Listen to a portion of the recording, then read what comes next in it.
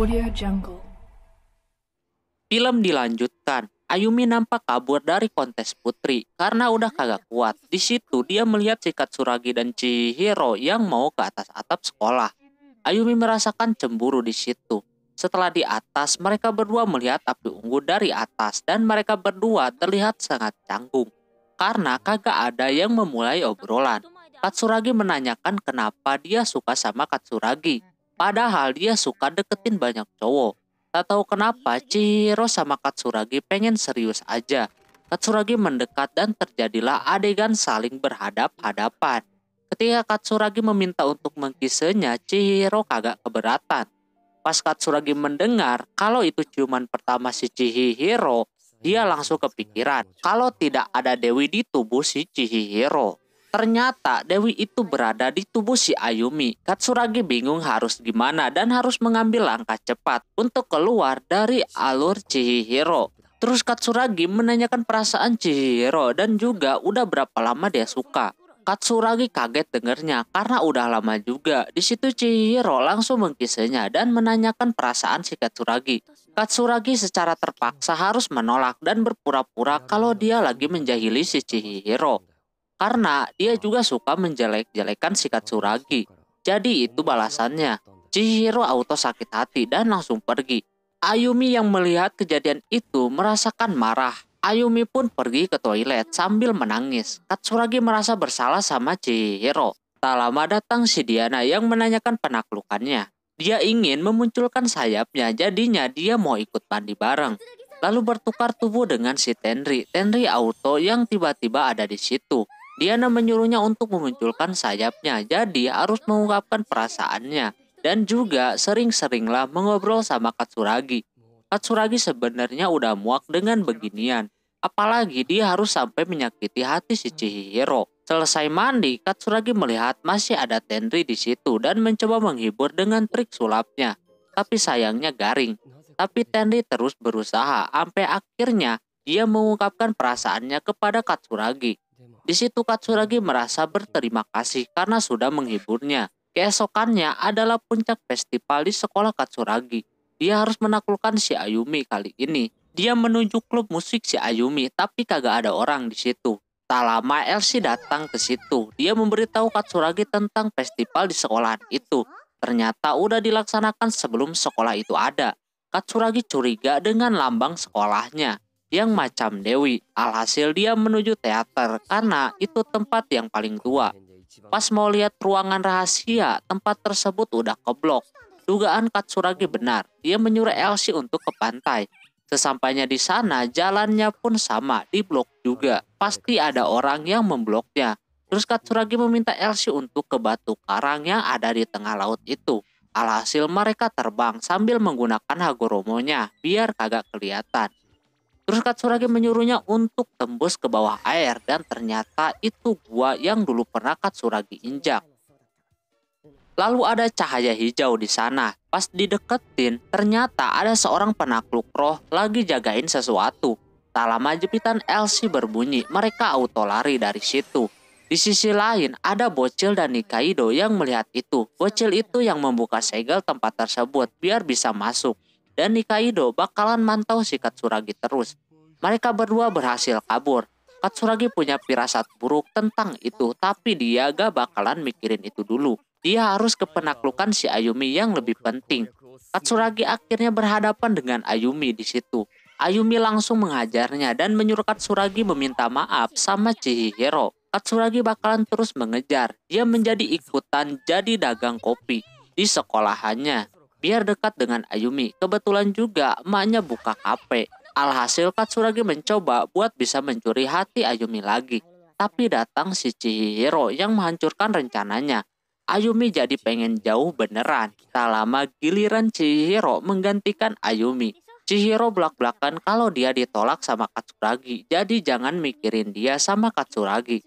Padahal si Chihiro serius sama Keima. Di situ Lune mengerahkan anak buahnya ke beberapa titik. Ayumi makin bingung. Dewi Merkurius menyuruh untuk membuat keputusan sendiri. Terus Ayumi sudah ditandai oleh Lune dan mengirimkan ke pasukannya. Sementara Katsuragi terus mencari. Dia melihatnya namun malah tabrakan sama Chihiro. Di situ Katsuragi dengan polosnya meminta bantuan kepada Chihiro. Ya, auto lah. Chihiro marah karena Katsuragi macam orang kagak bersalah. Di sisi lain, Lune udah siap-siap menjalankan rencananya. Ketika Ayumi lagi jalan-jalan, tiba-tiba ada Chihiro yang ngomongin tentang konser bandnya nanti. Ayumi kagak bisa bergabung, dia banyak salah banget, terutama ke Chihiro, karena Ayumi tidak mendukungnya. Dia selalu mikirin Katsuragi. Tak lama Katsuragi langsung memotong pembicaraan mereka dan menyuruh Chihiro buat pulang. Tapi ada boneka berjubah muncul dan menangkap ketiga orang itu. Lune dan yang lainnya pun berhasil menangkap para dewi. Pas mau dibawa, datang si Hakua yang membabat semua yang pakai jubah. Sebelum itu, Hakua di neraka dibawa oleh atasannya. Dia menyampaikan kalau si Hakua dikeluarkan dari penangkapan roh jahat. Di situ dia cerita panjang lebar mengenai neraka yang dari dulu sampai sekarang belum mengalami perubahan. Pasti ada musuh di dalamnya. Aqua memilih jalan yang benar. Terus atasannya itu memberikan pedangnya si Aqua kembali dan menyuruh ke bumi untuk menyelamatkan para dewi surga. Akhirnya Hakua berhasil bikin mereka pingsan semua. Terus Katsuragi harus membawakan seakan-akan semuanya itu acting buat festival nanti. Mereka berdua pun percaya aja. Aqua menyampaikan kalau vintage udah menyerang. Di telepon pun kagak ada yang menjawab. Para dewi udah ditangkap semuanya. Si Ayumi memutuskan buat pulang. Di situ pun ada si Nora. Kebetulan dia mau mengawasi si Ayumi. Alhasil si Katsuragi mempercayakannya. Lalu Katsuragi pulang membawa si Chihiro ke rumahnya. Di rumahnya pun Kanon dibawa juga oleh Vintage, tapi si Diana masih aman-aman aja di situ. Setelah diselidiki Aqua, kalau mereka mau menciptakan neraka kuno lagi, gerbang buat masuknya berada di batu karang yang Katsuragi telusuri kemarin. Jadi kemungkinan kota tersebut bakalan menjadi neraka kuno. Prosesnya bakalan dilakukan besok. Tadinya Hakua mau maju sendiri, tapi Katsuragi masih tetap mau mengumpulkan para dewi dulu. Dia akan menaklukkan si Ayumi. Pas dia keluar, ada Chihiro yang lagi nguping dan langsung mengambil HP-nya untuk menelpon si Ayumi. Katsuragi bakalan ke rumahnya sekarang juga untuk nyatain cinta kepada dia. Katsuragi auto gercep untuk mendapatkan endingnya. Di sisi lain, Lune diperintahkan untuk tidak membunuh para dewi terlebih dahulu. Tugas dia sebentar lagi bakalan beres. Sedangkan Katsuragi naik tiang buat ke kamar Ayumi. Di situ Ayuminya lagi mandi, dia langsung jatuh. Dan kagak sengaja melihat si Ayumi begitu. Dan juga tiba-tiba ada panse di kantong si Katsuragi. Ternyata itu ulahnya si Nora. Terus Katsuragi ngajakin ketemuan di batu kura-kura. Aqua menjelaskan kalau Chihiro kalau mereka sedang membutuhkan kekuatan yang ada di tubuh si Ayumi. Jadinya Katsuragi harus buat si Ayumi jatuh cinta. Tak lama si Ayumi datang. Belum apa-apa, udah pelukan aja. Nora memberikan info kalau Vintage menuju ke arah Katsuragi. Dia langsung membawanya pergi. Tempat selanjutnya adalah taman. Lagi-lagi, Vintage memantau mereka juga di situ. Kota itu udah dipenuhi oleh para vintage. Katsuragi langsung mengajaknya ke kuil Maijima. Karena jauh, Katsuragi kecapean. Di situ ada si Lune juga. Setelah udah gak capek, mereka lanjut lagi. Untungnya, ada si Nora yang menyelamatkan mereka berdua. Lalu si Chihiro menyarankan untuk ke rumah kenalannya aja. Yang ternyata pas ditelusuri itu rumahnya si Miyako. Chihiro juga bergabung mau ngomongin konser besok. Katsuragi kebingungan apa yang telah dilakukan si Chihiro. Chihiro bermaksud membantunya. Dia nembak Katsuragi di saat dia lagi kesusahan seperti itu. Jadi dia mau membantunya. Setelah itu mereka ngobrol-ngobrol di situ dan Chihiro malah ngomongin tentang si Katsuragi. Jadinya si Miyako mau menunjukkan baju buat konser besok. Sampai heboh kayak gitu. Lalu si Chihiro ngobrol empat mata dengan Ayumi mengenai si Katsuragi. Karena dia udah disakiti, Akhirnya dia jujur kalau Katsuragi itu pembohong. Dia sedang memainkan game penaklukan kepada Ayumi.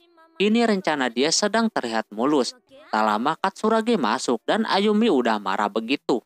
Di situ Ayumi auto menamparnya dan langsung pergi. Sebelum pergi, Chihiro mengatakan kalau Katsuragi harus benar-benar serius kepada Ayumi. Karena pikiran si Ayumi itu lurus. Dia mungkin lagi kepikiran sekarang. Di sisi lain, Nikaido sedang mengawasi si Elsie biar tidak terjadi sesuatu. Guru yang baik nih. Jadi dia mempercayakan sisa tugasnya kepada Katsuragi. Lalu mereka berusaha mengejar lagi. Chihiro menjelaskan kalau dia melakukan yang tadi supaya memutus cinta segitiganya. Karena Ayumi masih mikirin perasaan si Chihiro. Tak lama Ayumi lewat. Begitupun di depannya ada si Katsuragi yang menaiki kuda. Mereka ngobrol-ngobrol di situ dan ujung-ujungnya Ayumi ngajakin nikah. Kalau si Katsuragi benar-benar serius, Katsuragi menerimanya tapi syaratnya panjang banget. Alhasil Ayumi langsung membawa ke rumahnya buat bertemu dengan orang tuanya. Ayumi langsung to the point. Kalau dia bakalan jadi pengantin, bapaknya auto panas karena gak mau nyerah. Katsuragi serius memberikan gaun pengantin kepada Ayumi dan menyuruhnya untuk mengatakan perasaan yang tulus kepada Ayumi. Tapi setelah beberapa kali disampaikan, tidak ada yang tulus menurutnya. Sampai orang tuanya pusing dengerinnya. Alhasil setelah beberapa menit, Ayumi mau pernikahannya di tempat yang romantis. Dan dia akan menunggu si Katsuragi. Ketika Nora mau ngikutin, dia kena tusuk. Tapi untungnya itu cuma bonekanya yang disimpan badinya. Rio menyuruh memakai Hagoromo biar kagak kelihatan. Pas mereka mau berangkat, Lune muncul. Alhasil si Hakua yang akan melawannya. Sementara mereka berdua menuju ke tempat si Ayumi berada. Herannya tempatnya di situ mulunjir bosen. Vintage terus mencari keberadaan si Ayumi, sedangkan Diana masih diam aja di tempat. Aqua dan Lune masih terus ribut.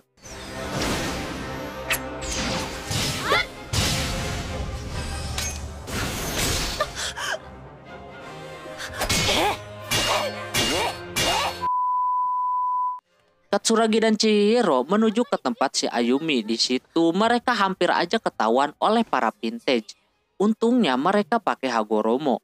Sesampainya di tempat Ayumi, di situ ngobrol panjang lebar ini dan itu. Alhasil, Katsuragi to the point aja, mau ikut dia atau enggak. Alhasil karena kesal, Ayumi menyeret untuk segera menikahinya. Akhirnya setelah ribut dulu dan yang lain-lain, akhirnya Ayumi lah yang mengajak Ise Katsuragi. Dan muncul sayap di tubuh si Ayumi. Berbarengan dengan Mercurius memunculkan diri. Para vintage akhirnya muncul di situ. Untungnya Diana datang, kini dia mempunyai sayap Sementara anak buah vintage dihabisi oleh bocil yang digadang-gadang namanya Akari, kata Katsuragi. Mercurius dan Diana langsung menghancurkan tempat persembunyiannya dan menyelamatkan Dewi yang lainnya. Aqua yang terpojok karena mendengar rencananya gagal, Lune mundur. Setelah itu Katsuragi dan Chihiro pulang. Chihiro mau mengambil gitarnya dulu karena besok konsernya. Begitupun Elsie yang dikasih tahu sama Nikaido untuk siap-siap konser bandnya karena semuanya sudah beres. Sebelum Chihiro pergi, dia menanyakan waktu kencan kemarin apakah di dalam dirinya terdapat Dewi. Kata Katsuragi kagak ada, di situ dia langsung sakit hati. Jadi dia beneran menolak keras, tapi Chihiro sangat kuat di situ. Tingkat cerita, Chihiro dan Miyako siap-siap buat tampil. Tapi teman-teman yang lainnya belum pada datang. Setelah mereka menunggu, akhirnya tuh orang bertiga datang dan langsung ganti baju. Pas mau dimulai datang si Kanon. Dia pengen nyanyi bareng grupnya si Pensil 2B. Alhasil mereka nyanyi bersama.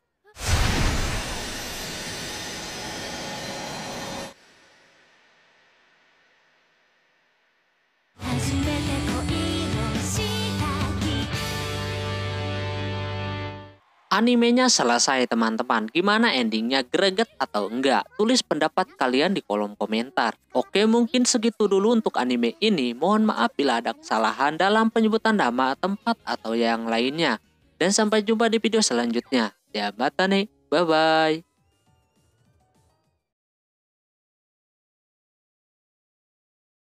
Please